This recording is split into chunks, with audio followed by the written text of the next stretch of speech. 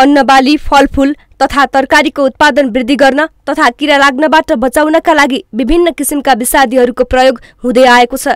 किसानलाई विषादीले मानव शरीरमा पार्न सक्ने असरका बारेमा ज्ञान नहुँदा बढी उत्पादन हुने आशामा तरकारीमा कडा खालको विषादी प्रयोग गर्ने गरेको कृषि ज्ञान केन्द्र डडेलधुराका वरिष्ठ कृषि विकास अधिकृत तिलबहादुर विष्टले बताउनुभयो।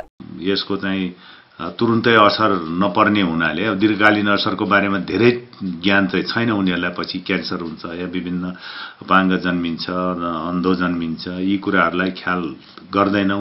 आलु गोलभेडा काउली भ्यान्टा सिमी काँक्रा लौका लगायत दैनिक उपभोग्य तरकारीमा किसानले कडा खालको विषादी प्रयोग गर्दै आएका छन्। विषादीले मानव शरीरमा पार्न सक्ने असरका बारेमा ज्ञान नभएको किसान बताउँछन्।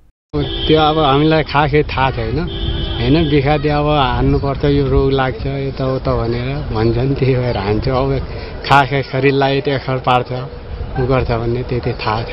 त्यति त अब के भने मुटुलाई हानि पुर्याउँछ होइन।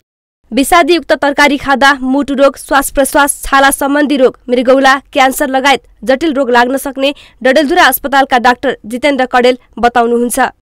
विशेषतः कीटनाशक औषधिहरूको कारणले हुन सक्ने भनेको धेरै प्रयोग गर्ने अर्ग्यानोफस्फेट्सहरू हो। अर्ग्यानोफस्फेट्सले चाहिँ ज्यानैसम्म जान सक्ने।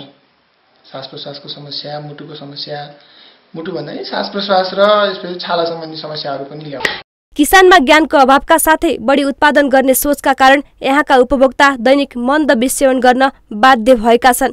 बढी उत्पादनको नाममा किरा तथा रोग रोक्न भइरहेको अत्याधिक विषादी प्रयोग अहिले स्वास्थ्यका हिसाबले जोखिमपूर्ण र चुनौती बनिरहेको छ। यस्ता विषादीको प्रयोगलाई रोकी किसानलाई अर्ग्यानिक तरकारी तथा फलफुल उत्पादन गराउनतर्फ किसानलाई उत्प्रेरित गराउन जरुरी देखिन्छ। विमल जैरू डडेलधुरा।